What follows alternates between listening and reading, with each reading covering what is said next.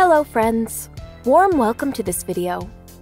How to find a file's path on Windows. Are you using a complex file and folder structure on your Windows PC? Then you must be spending little time navigating your file. You can quickly open the file's path without browsing too much on your PC. Follow these easy steps to find a file's path on Windows. Open File Explorer. Select this PC from the left side panel. Click on the search bar at the top right in the File Explorer. Type the name of the file that you want to find and click on the right directional arrow icon. This will start searching your file on your computer. Soon after, you will see your file in the search result. Select your file and right-click on it.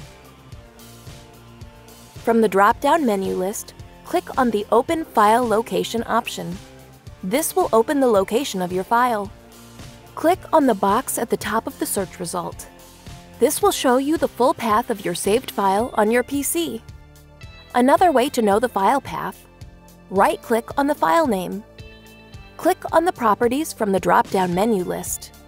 In the General tab, and in front of the location, you will find the full path of your file.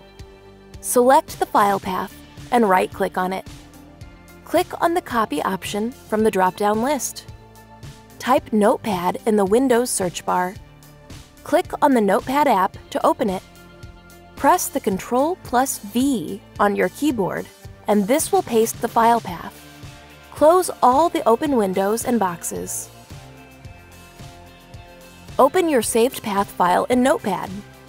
Select the path and press the Ctrl plus C keys on your keyboard to copy it. Open File Explorer and click on the path bar.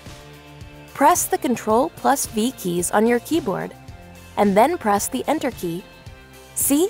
This will open the saved file location very quickly. Please do not forget to like this video and subscribe to this channel. Thank you for watching this video.